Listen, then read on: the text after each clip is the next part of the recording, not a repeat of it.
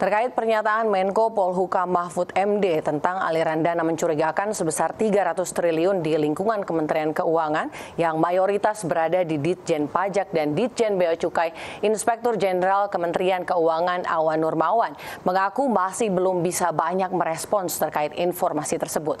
Awan beralasan pihaknya belum menerima laporan berkenaan dengan temuan tersebut, apalagi pihaknya belum mendapat informasi resmi dan baru mendapat informasi dari pemberitaan media.